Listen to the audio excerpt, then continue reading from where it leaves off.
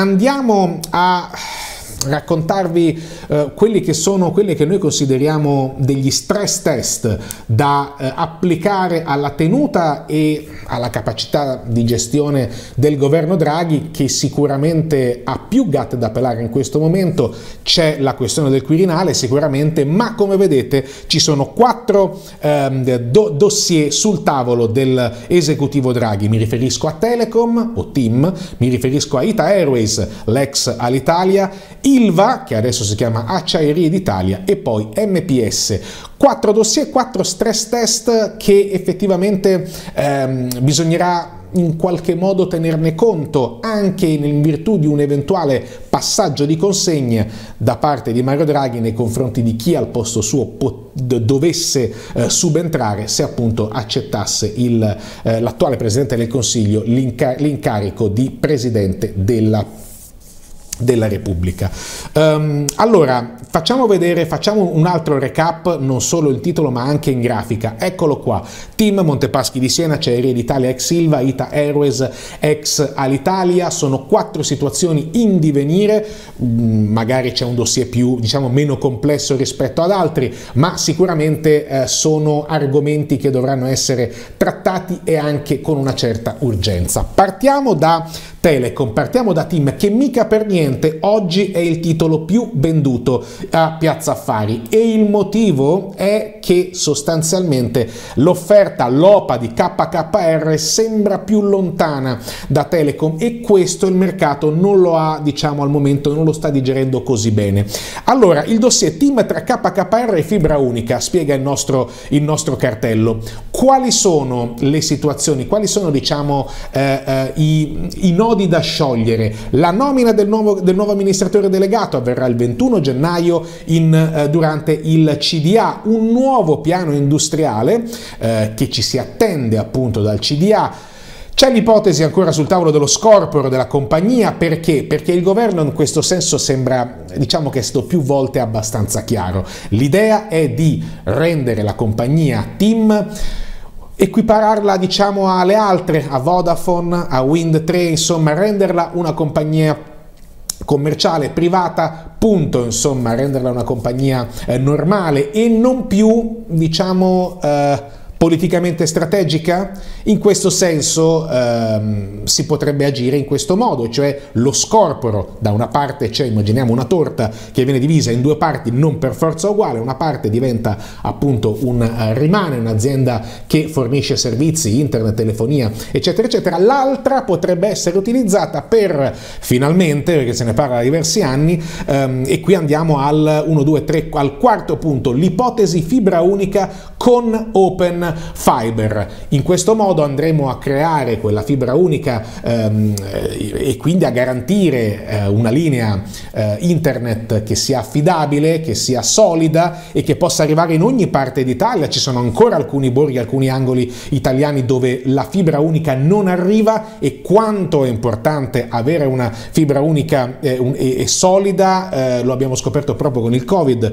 dato che eh, oggi si lavora in smart working, oggi si va va a scuola in didattica a distanza. Questa è una pista sicuramente calda, ma dall'altra parte c'è anche l'OPA del fondo americano. KKR è un'OPA, come sapete, un po' che ha deluso diciamo, le aspettative e eh, che eh, diciamo, è sì più alta del valore di Telecom in questo momento, del valore dell'azione di Telecom in questo momento, ma che è molto inferiore rispetto a quanto ha pagato Vivendi per entrare a, eh, dentro, eh, dentro Team. Vivendi adesso Oltre, possiede oltre il 20% insomma, di, eh, di, team, mentre eh, ricordiamo che c'è anche CDP, Cassa Depositi e Prestiti, che eh, occupa il 10%, Cassa Depositi e Prestiti che è dentro anche Open Fiber per il 60% e questo è l'interesse evidentemente del governo, perché CDP è comunque una controllata dal Ministero eh, di Economia e Finanza, per andare a creare appunto quella che è una rete unica con Open eh, Fiber. Il problema è che KKR, il fondo americano ha fatto sapere di voler ancora puntare su, su Telecom, sta cercando diciamo, ehm, ehm, aiuti economici, in particolare nell'Arabia eh, Saudita, ma è anche vero che un'OPA affinché si completi al 100% ha bisogno di tempo, un, calcoliamo un paio d'anni e forse quei due anni insomma eh, Tim non vuole, non vuole aspettare, il governo non vuole aspettare, meglio evidentemente la pista diciamo, della, uh, della, rete unica e, e, e, alla scissione appunto da una parte Telecom, uh, uh, telefonia e servizi, dall'altra una, la compagnia che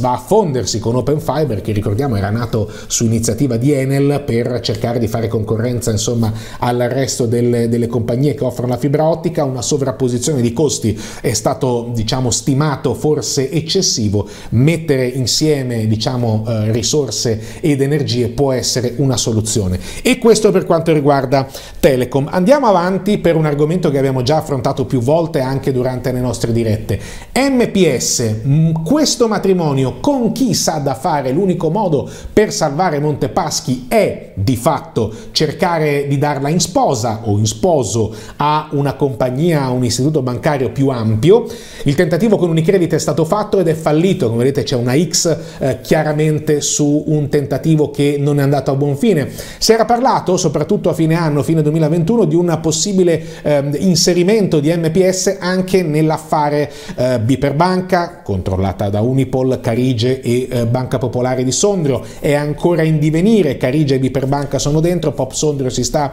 eh, convincendo, ma no, a quanto pare MPS non farà parte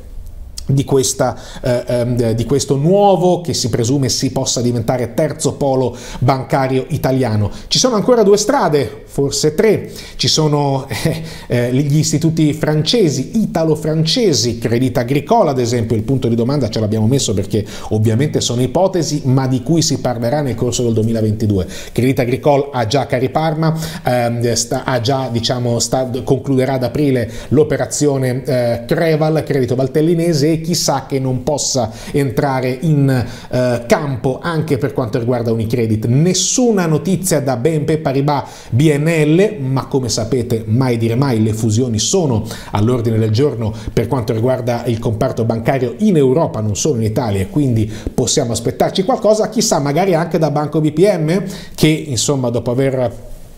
in qualche modo eh, eh, digerito e assimilato il, ehm, la fusione appunto tra Banco Popolare e BPM potrebbe, potrebbero arrivare nuovi, eh, nuovi, spunti e nuove iniziative per non parlare della fusione che abbiamo raccontato e che insomma è stata la protagonista del 2021 quella tra Intesa e Ubi questo per quanto riguarda Monte dei Paschi di Siena, ehm, ovviamente ogni dinamica, ogni gioco, ogni eh, strategia verrà in qualche modo messa, eh, diventerà più concreta dopo l'affair del eh, Quirinale. E quindi bisognerà aspettare un po', salvo eh, sorprese, salvo colpi di scena. Colpi di scena che sull'affare invece Acciaierie d'Italia, ex Ilva, eh, per ora non ce ne sono, il piano industriale presentato è sicuramente ambizioso, Troppo ambizioso? Chi lo sa? Beh, sa di fatto che è stata messa la, l'asticella molto in alto, 8 milioni di tonnellate di acciaio da produrre in 10 anni e non in 5 anni, riduzione del 40% di CO2 e del 30% di polveri eh, sottili, l'utilizzo del metano al posto del carbone per la realizzazione e la produzione di acciaio e soprattutto ehm, l'impiego dell'idrogeno allo scadere di questo decennio per un totale di investimenti che non bastano, serviranno ulteriori aiuti, di circa 4,7 miliardi di um, di euro. Dicevamo, insomma, serviranno sicuramente aiuti uh, al, anche magari attraverso il uh, governo, um, sono sul tavolo, insomma, ci sono diversi argomenti aperti anche con i uh, sindacati. ripeto, insomma, questo è il piano e sembra piacere in qualche modo in linea di massima agli osservatori, anche insomma ai sindacati e a chi inevitabilmente dovrà rispettarlo. resta il fatto che insomma servono ancora ulteriori investimenti per dare vita a questo sicuramente rilancio da parte dell'ex Acerie eh, Ilva, ovviamente avendo poco spazio, dobbiamo un po' semplificare e riassumere in buona sostanza quello che accade. Um, e così passiamo anche alla questione all'Italia, ex all'Italia, parliamo di Ita Airways che ricordiamo al momento ha 51 jet azzurri, l'obiettivo è superare quota 80 um, e soprattutto trovare il partner ideale, il partner commerciale non soltanto strategico con cui portare avanti um, il diciamo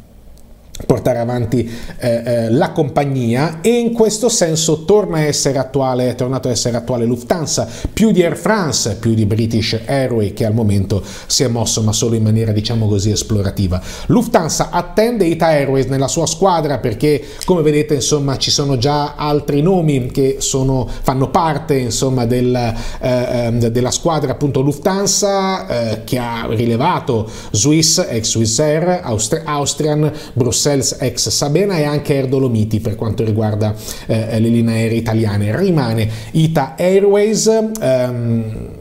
si tratterà di eh, portare avanti questa, questa trattativa e se dovesse andare in porto a quel punto si andrebbe a chiudere una telenovela che quanto a lunghezza e forse anche pesantezza potremmo paragonarla a quelle eh, di una volta, insomma mi viene in mente Topazio con Grecia Colmenares, ma sicuramente una telenovela che è stata ehm, è costata almeno 15 miliardi di euro, chi li ha pagati questi 15 miliardi di euro? Noi, i contribuenti. E chi se no